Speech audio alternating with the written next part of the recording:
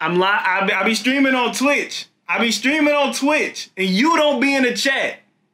What's up with that? Huh? What's up with that? So what I'm gonna need you to do, since you here already, I'm gonna need you to go follow me on Twitch. I'm gonna need you to go do that. You say you gang, right? You say you gang though, right? So why you ain't did? See, bro, you not gang for real. You not gang for real. Have you ever been a side piece? And no, I'm not talking about food, obviously. I'm talking about the side piece.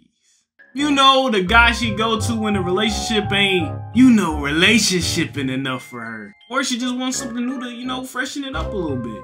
If you have, let me know in the comments. And can we aim for a thousand likes this video? It helped me out a lot. You. So this story takes place in fifth grade, back when I was a weird, scrawny kid who liked anime and comic books. The thing is, I'm still a weird, scrawny kid who likes anime and comic books, so not much has changed, but what has changed is my experience with women.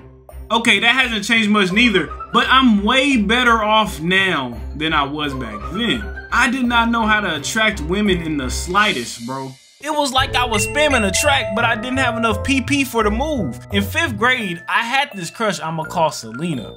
Now, I was head over heels for this girl, but she she would never give me the time of day. If it's one thing I gotta give younger me credit for, it's resiliency. Cause he could get knocked out by Mike Tyson and still get back up. And she knew I liked her. I mean, the whole fifth grade class knew I liked her. That's how infatuated I was with this girl. The whole school year, I'd be trying to impress her or figure out ways I could get her to like me back. I even crossed up a handicapped dude playing basketball at recess thinking that would impress her. Okay, he wasn't handicapped. He just had to wear a boot on one of his legs because he fell down the stairs and he was my friend, so regardless, you get the point. I was down bad. The problem was, she had a boyfriend.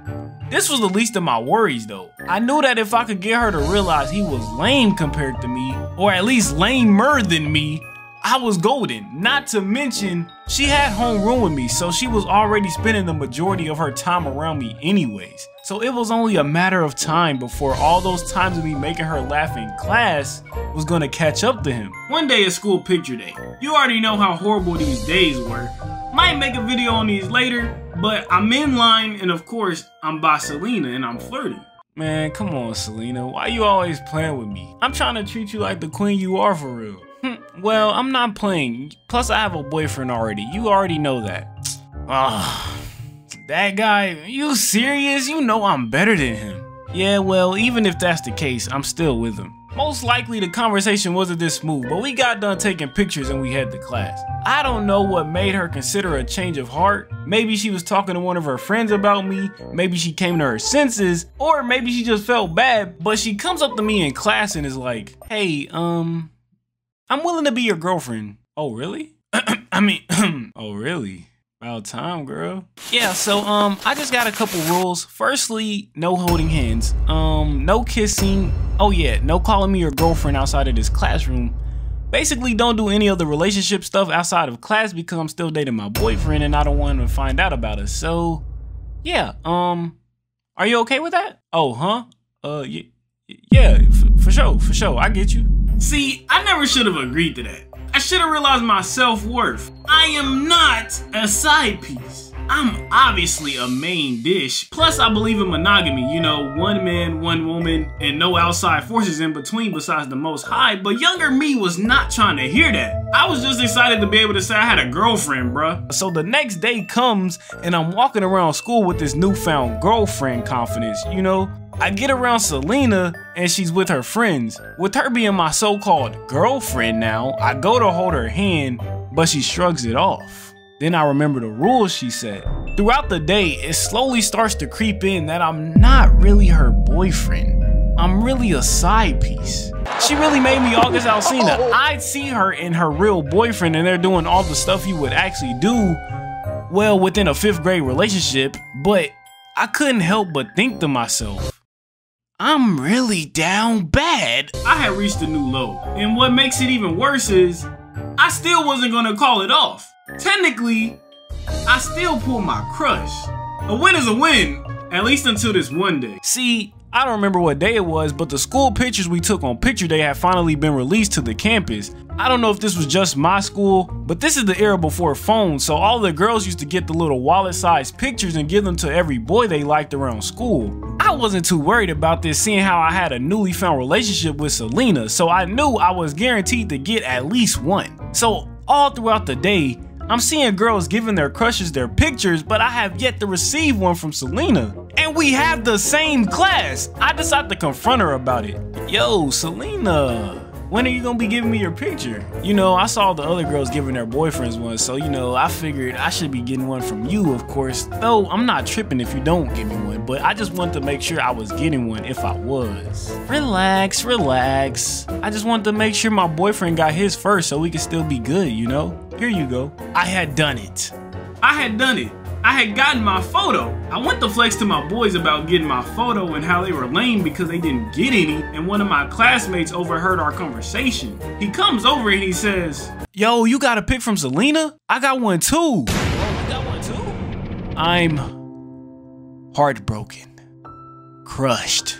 Because while I was aware that I was the side piece, I didn't know there were multiple side pieces. She had me sliding down walls. I didn't even know what to say. I kinda just awkwardly stand there. It was over. How could I have been so stupid?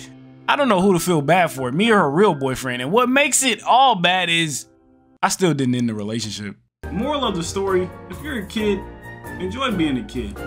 Us being in fifth grade, we didn't have no business even trying to be in relationships. Not to mention, our little minds probably couldn't even understand what the concept of love even was.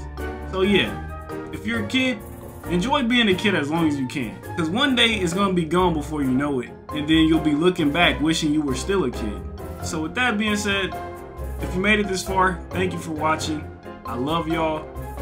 Stay blessed. Shalom.